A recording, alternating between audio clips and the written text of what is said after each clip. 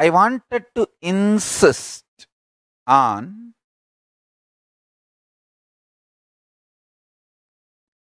meditating on powerful cognitions and manifesting powers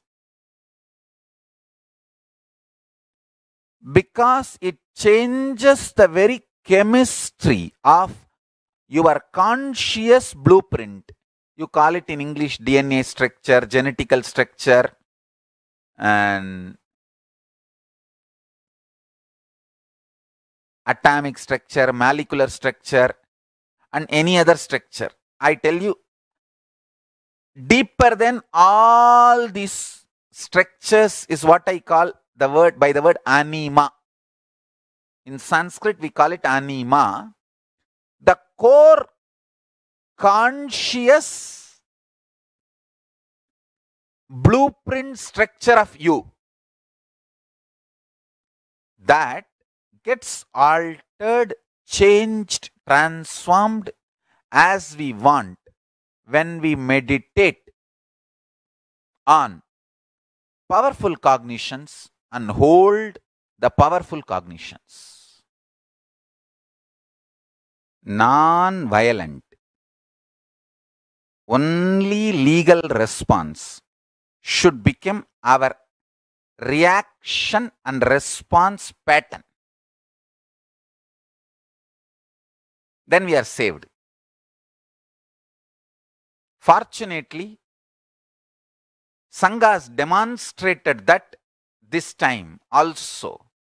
See, last earlier attacks, I was physically there.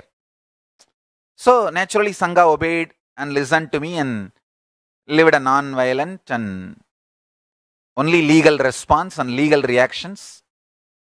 No non-violent reactions and responses. This time, because I am not there physically, the conspirators and traitors have planned such a way that they will try to show to the Sangha that this is what I will want, my instruction.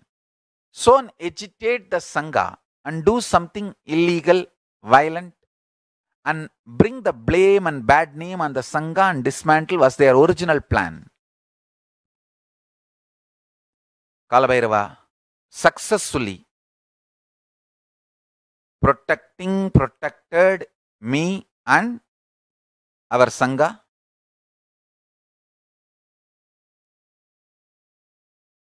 I can see now very clearly.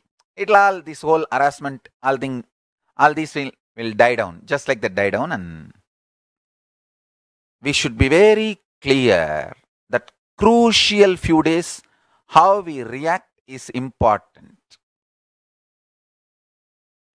No agitation, no violence, no angry reaction, no angry response, no. Trust Kalabhairava.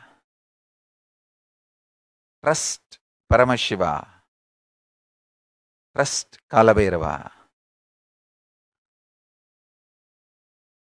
Do all the things need to be done legally. Tell our side story. Tell our side facts.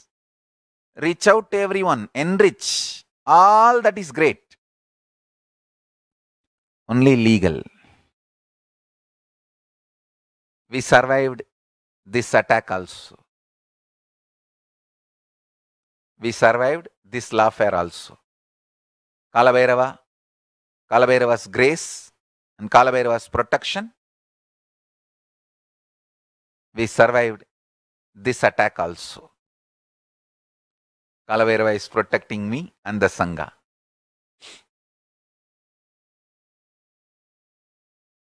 Every time I utter this word, he is so happy. That's why I am uttering again and again.